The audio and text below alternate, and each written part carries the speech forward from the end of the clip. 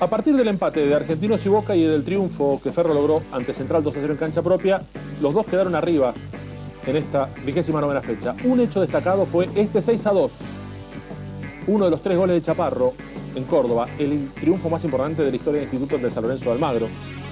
Ya San Lorenzo empezaba a derrumbarse camino a aquel triste momento del descenso. En esa misma fecha, hablando de curiosidades, Huracán le ganó visitante 4 a 0 a Vélez con cuatro goles de Monzón. La crónica del gráfico de ese partido la firmó un tal Gustavo Vélez. Instituto en esa jornada inolvidable tuvo en el arco Ibau, después Oropel Olmedo, Miguel Rodríguez, Krausman, vemos aquí otro momento de ataque y un penal para el gol de Chaparro que sería el tercero ya de ese día. Víctor Heredia, Tevez, Mastro Simone, Rodolfo Rodríguez, Chaparro y Mesa. Después entrarían entre otros Paredes y Palavecino.